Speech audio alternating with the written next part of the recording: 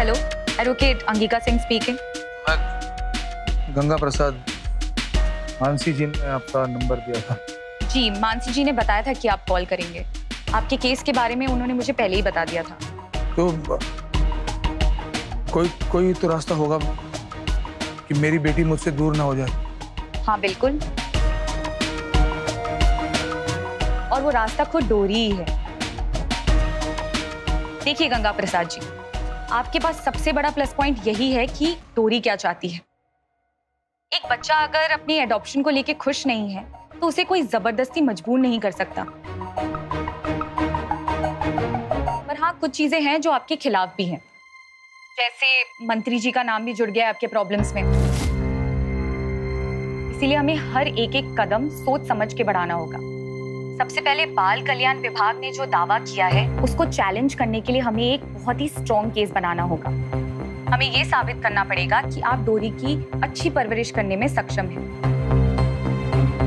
उसके लिए हमें सबसे पहले उसे एक अच्छे से स्कूल में एडमिशन कराना होगा। हमें उसकी सारी छोटी बड़ी जरूरतें भी पूरी करनी पड़ेगी। अगर मैं ये सब कर लूँगा तो वो लोग मेरी दूरी को मुझसे दूर नहीं करेंगे ना? देखिए कोई गारंटी तो नहीं है पर हाँ हमें एक उम्मीद की किरण ज़रूर दिख जाएगी। अगर एक प्रतिशत भी ये हो सकता है तो मैं इसके लिए लड़ूँगा। मैं जान लगा दूँगा है। जो चाहे करूँगा कि मेरी दूरी मुझसे दूर ना जाए। आपका बहुत बहुत धन्यवाद। मैं आके आपसे मिलूँगा। जल्दी। श्योर थैंक यू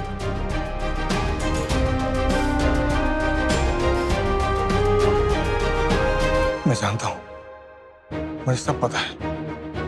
ये ये सब इन लोगों की साजिश है। साजिश है कि मेरी डोरी मुझसे दूर हो जाए हमेशा के लिए। लेकिन मैं ऐसा होने नहीं दूँगा। मैं अपनी बेटी से अपनी डोर नहीं टूटने दूँगा। मैं लड़ूँगा इन लोगों से। जो चाहे सब करूँगा। उससे पहले आप हॉस्पिटल चलिए। मैं घर जा रहा हूँ। मुझे हॉस्पिटल नहीं जाना है। चलिए मैं आपको छोड़ देता हूँ। Awesome. Settled.